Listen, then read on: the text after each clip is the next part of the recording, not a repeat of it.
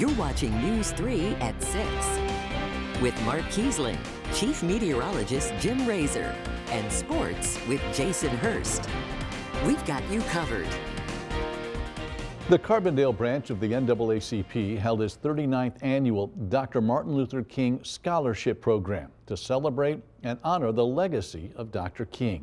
News 3's Maya Skinner sat in on today's virtual event and joins us in studio now with some of the highlights. Maya?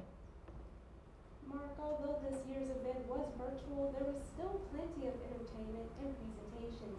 This year's theme was Chaos or Community, where do we go from here? A topic that encouraged viewers to think about how to apply Dr. Martin Luther King's legacy in light of recent events. Along with musical performances and speeches, the Carbondale NAACP President Linda Flowers announced newly elected officers of the branch. The keynote speaker was Carbondale activist Matt Wilson, who highlighted recent accomplishments within the community and reflected on recent civil unrest. There were three winners of the King Essay Contest, and here's a snippet of one of them.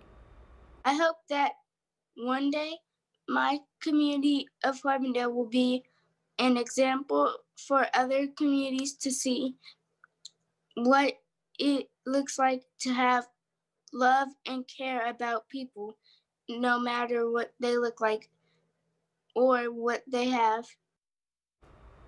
The winners will receive a certificate from their school and a gift card. There were also two winners for the scholarship. Martin Luther King Jr. Day is also a day of service, and the Carbondale NAACP is encouraging people to go out and volunteer.